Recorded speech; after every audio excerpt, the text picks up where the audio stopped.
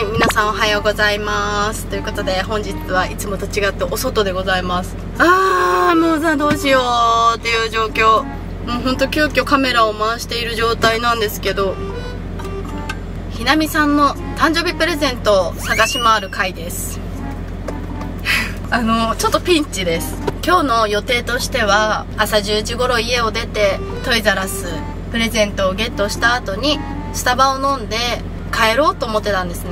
そして今日はそのスタバ飲みながらドライブして帰るまでの様子を、えー、撮影しようかなと思っていてというのも、まあ、気づいてる方たくさんいらっしゃったんですけどこちら新車になりました。ということでその新車に代わってドライブの様子というかそういうのを撮ろうかなと思ってたんですね。もう予定が全部崩れてしまいました。あのそもそも週末にトイザラスいつも行ってるトイザラスに行ったところ閉鎖中。入れなくてですね。その店舗に入れなくってもうしょうがないからその日はちょっと諦めてもう商品決まってるので私が平日買ってくるってことになって今日満を持してきたわけですよ。そしたらですねなんとここのトイザラスにはその商品の取り扱いがありませんでした。あれなんかトイザラスの商品はどこにでもあるものだという頭の固い考えをしておりましてちょっと遠いトイザラスに来たんですけどダメでした。そして今この車内でいろいろ調べてたらこっからまた同じぐらいの時間をかけて行ったところにもう一個店舗があってそちらには取り扱いあるということでお電話で確認取れたので今から向かいたいと思います。わあもう今日は大ドライブです。どうしよう本当に。帰ってさちょっといろいろやんなきゃいけないことお仕事あったんですけどもうひなみの誕生日はあさってですのでせっかく今日時間取ってね明日もなんて無理なので今日は私の プレゼント集めにご協力お願いいたします。ナビセットしたので向かいたいと思います。34分で着くそうです。想定外想定外すぎる。ちょっとせっかくなので結局は新車ドライブには変わりないのでそうなんですよ。今納車して2ヶ月ぐらいが経ちましたがまだ新車と言えるよねこれは。そう今回は、えー、中古じゃなくて新車を購入しました。前の車はひなみが生まれる頃だから4年近く乗ってたのかな。もうちょっと少ないかなってぐらい乗っていて今回は、えー、新型ボクシーを購入しました。で購入してから届いたのが2ヶ月前なんですけどだいたい10ヶ月ぐらいかかりましたね。もともとの予定が1年半で縮まっての10ヶ月での納車でした。なんかねそう今遅れてるっていうのはねもうみんな知ってると思うんだけど中古とかも検討したけど高いよね。中古高いなと思って新車とそんなに値段も変わらなかったので結局新車にしたんですけど前乗ってたね。あのよく大阪にまで出かけた伝説のあの車はあれは中古で購入してしかもだいぶ年季の入った中古を購入したのでほんと4年ぐらいで終わりになっちゃったんですけど今年車検だったの多分あの前の車が。でその前に点検とかもあって次の車検でこれ何十万もかかるねって言われちゃって本当にもうガタが来てたというかまあ、うちも少しの間つなぎで乗れればなって思ってた車だったんだけどあの最後の1年間大阪終わった次の夏は冷房が出なくなってしまっていて本当に暑い夏を過ごしました。なんかねファンが壊れたって最初言われてその修理に出したんですよ。でファンを直してもらったんだけどそのファン自体は治ったけどその先のなんか冷たくするところ？ごめんなさいねよくわかんないんだけどその空気を冷たくするところが壊れちゃってるみたいで結局は冷房は修理に出したのに出ませんでした。そんでファンも結局治ってなかったのかな。なんかそこら辺あやふやになっちゃって原因突き止められなかったんだけどなんかそのファンが壊れてるとエンジンが危ないみたいでなんかこ怖いじゃんマジで。結局修理にすごいお金かかってその後いつか買い替えるんだったらってことでこのタイミングでね購入したんだけどいいよ新車。マジで冷房のありがたみ？みんな当たり前だと思ってない？本当に暑かったんだから。もう窓なんかさ全部全開でさあの後座席1つ内輪がついておりましてオプションで。これオプションです。そのオプションでこう仰いで保育園の迎えに行ってました。暖房は出た。そうだ暖房は出た。で冬を越して春納車。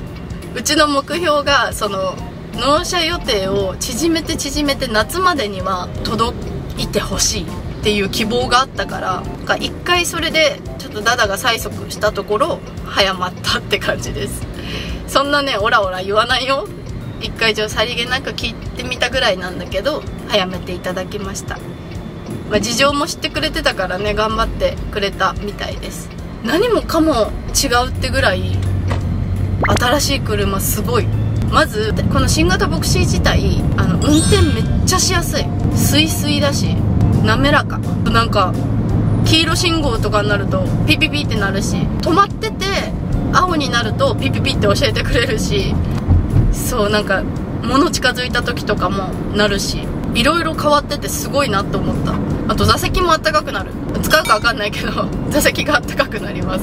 今は使わないけどね。冬に使うのかな。なんか文化がないから分かんないんですけど。ほんといろいろその充電器とか後ろの画面とか結構でかくて子供たちも結構満足してるような仕様になってます。後ろはねその7人乗り8人乗りあってうちは8人乗りにしました。部活の送迎で結構乗せたりもするので8がいい？無難かな？っていうところで8になりました。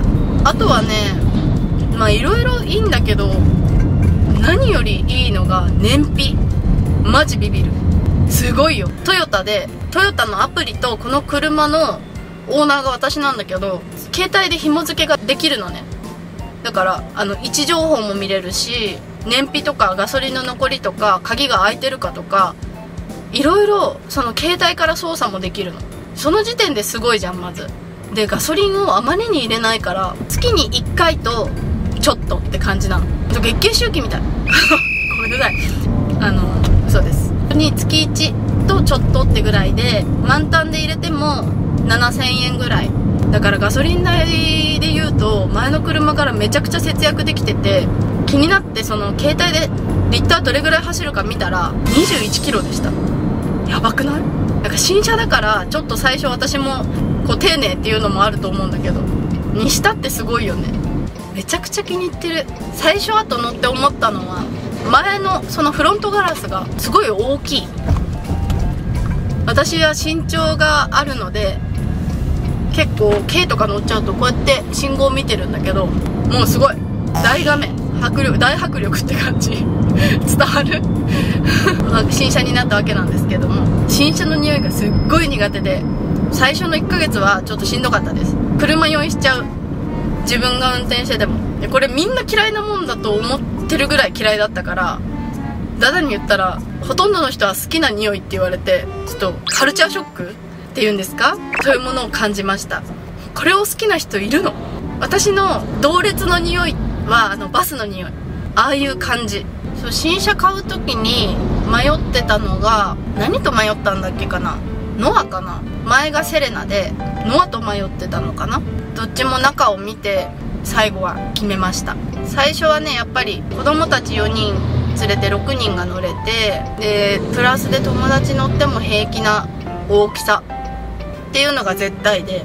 この大きさだったら、まあ、ちょっと何泊かする旅行の荷物入れても家族で行けるかなと思います。夏もねそう夏休み中は旅行も計画してるので本当楽しみだし動画にして思い出残したいので動画も楽しみにしていただければなと思います。ということでちょっと運転もちょっと続くんですけどトイザラスに向かっていきたいと思います。それではやっと着きましたのでプレゼント買いに行ってきます。う滝汗です。はい無事。ゲットしてまいりました。本当にお疲れ様でした。こちらもゲットしてきました。私の大好きなほうじ茶クラシックティーラテです。今回グランドメニューになったということで私はさ本当視聴者さんからたくさん DM が来る日があって多分その発表された日かな。みんな教えてくれてさ私はそれで知りました。本当嬉しくてさそれから1回飲んだんだけど今日は2回目です。いただきます。美味しい。ありがとう。本当嬉しかった。そのこれを見て私が好きって言ってたのを思い出してくれたのが嬉しかったです。と言いながら私は DM をなかなか返せなくて本当に申し訳ないです。やばい。時間が12時28分。本当1階のこっちから3階のこっちまで行ったからね。うんすんごい早歩きで。スタスタと歩きました。お家までがねえー、10日本当にゲットできてよかったよ。あー美味しい。ということでもうねもうほとんど息で喋りすぎちゃったなっていうのはあるんですけど一旦出ましょうかね。広くてさ平日だから空いてるかなと思ったんですけど結構混んでおりました。土日ほど混んではいないんですけど行きと帰りじゃ気持ちが全然違いますね。遠いですが。マジで時間は結構かかるんだけど。まさかこんなに遠くに来るとは。私はこれをこっちに行くんですね。U ターンするってこと？うわ U ターンや。嫌いなんだよな。混んでらっしゃる。多分この時間じゃ着かないぐらい混んでらっしゃる。2ヶ月前ぐらいにねねとニーニとダダの誕生日があって入れてはくれない。あ入れてくれる。ありがとう。はいチカチカチカそれでさなんかもうねねもニーニも何て言うんだろう。もう誕生日って感じじゃないんだよね。年齢的な話で。あケーキじゃあ今年はこれかな。タンプレ今年はこれかな。ってぐらいでさ希望がそこまでない。まあ昔はあったから昔はそれなりにやったけど。やっぱ慶心ぐらいの年が一番こうワクワクというか。あれなのかなと思いましたね。南は今年は雨降ってきちゃった。洗濯干しっぱだ。もう 南さんそう今年はケーキがエルサとアナがいいんだって。エルサとアナのケーキにオラフも乗ってるやつが欲しいんだって。あー道間違えてちょっと遠回り。いつも大体同じケーキ屋さんでみんなのケーキ頼んでて。ねーねはアイスの方が好きだからアイスケーキが多いんだけどケイシンもさ前スパイダーマンの顔のああいうオーダーもできるところだからちょっとなんとなく画像を見ながら青でエルサとアナ乗っけてオラフも欲しいですとか雪の結晶もつけてほしいですってオーダーを電話でして仕上がりはまだねほんとお楽しみって感じなんだけど今年はそんなケーキのオーダーをいただきました。もう飾りは私がなんとなくで頼んだやつと残ってるやつと組み合わせてやろうかなって思ってます。でひなみが終われば4ヶ月空いて慶心なので一旦ねここでひなみの後は空きます。ご飯とか考えてなかったけどひなみ毎年カレーなんだよね。でもカレー本当に好きでさカレービーフシチューハヤシライスここら辺大好きであとチキン。今年はどうしよう。何がいいかな。何だろう唐揚げかハンバーグも好き。これも希望取りつつかな。でもなんかこれですごいの言われちゃってもな。まあいっか。誕生日にたこ焼きやった姉ちゃんもいたしな。なんで。そうだよね。好きなものやる日だもん。と希望を聞いてみようかな。なんとか家には1時半に着きそうで。そこから今日やろうと思ってた仕事してお迎えですね。はあ長旅だったマジで。こっからがまだ長いけど。事故だけは気をつけて安全にね帰ろうと思います。私本当に運転下手。自分では下手下手下手下手なのか。下手なんだね。この前も本当車がすれ違うのが大変なような細い道があるの。ここみんなビュンビュン飛ばして走るの。結構交通量も多くてって道をそう私が運転しててダダはお酒飲んじゃってさうちのカスパパとお酒飲んじゃったから私が運転してたの。もうさ2人がやんややんやうるさくて。ぶつかるぶつかるぶつかる。みたいな。もう私は半べそかきながら帰りました。もう無理無理。普段の大きい道は結構スムーズな運転というか私結構安全運転だなって思うんだけどそういう細い道は苦手です。あまり通らない今日みたいな道を通るときはさらに気をつけて運転します。もうねーねなんてさあと2年したら車取れるんでしょ？うちの田舎の方は大体取れるようになったら取るから。高校卒業しなきゃ車って取っちゃダメなんだっけかな？あいいのか。申請出せばいいんだ。うん。かな？夏過ぎからとかね。なんか決まってあった気がする。私はあの春1月誕生日なのでもうこれで送れるんですよ。確か2月とか自由登校の時の長期休みにあの合宿で撮っちゃいました。合宿って言っても地元なので毎日家帰ってたけどもうあの時は30キロでマックススピードだと思ってるぐらい 速かった速く感じたから。お母さんも乗り始めの時はかすままね仕事中もずっと携帯いつ警察から電話来るかって 置いといたって言うけどほんと気持ちわかるわ。ねえねえがあと2年で車乗るんでしょ。恐ろしいね。ちょっと心配だよね。はいということでえー、マジで思いがけず今日は ひなみさんのプレゼントの準備にお付き合いいただいてありがとうございました。今日買ったプレゼントが誕生日動画でも出ると思いますのでぜひそちらで今日買ったプレゼントね何だったのかを楽しみにしていてください。それではご視聴ありがとうございました。バイバーイ。